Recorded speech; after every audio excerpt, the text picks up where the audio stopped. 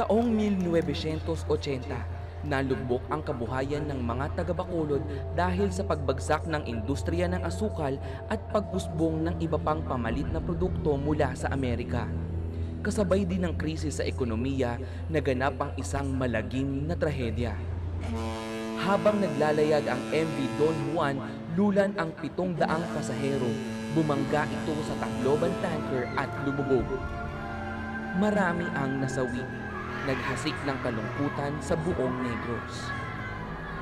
Upang mapawi ang kasawian, nagsama-sama ang mamamayan ng Bacolod upang italaga ang kauna-unahang Festival of Smiles bilang simbolo ng pag-asa at katatagan.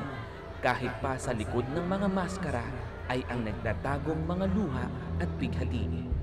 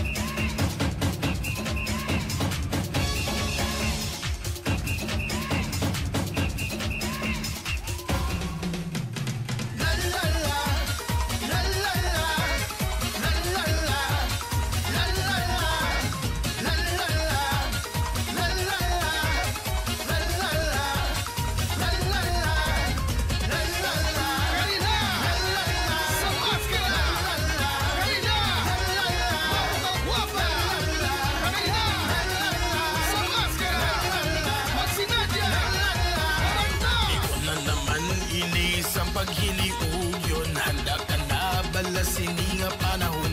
Sa dalanan kita tanan ang magtipon-tipon Aton isilibrar tungkol sang bakulunod Ang mga pamilya Pagkilitan ay naman balik Atan na sa dutang binakan. Ipakita kung ano takabako Diri lang na ninyo matilawan sa bakulod. Maskara! Diri na sa bakulod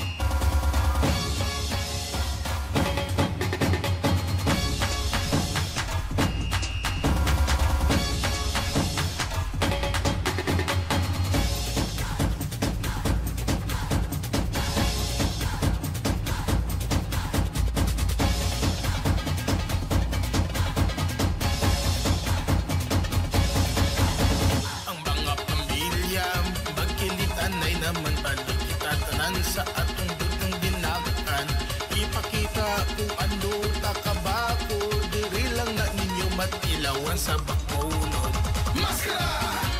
Diri na sa bakulod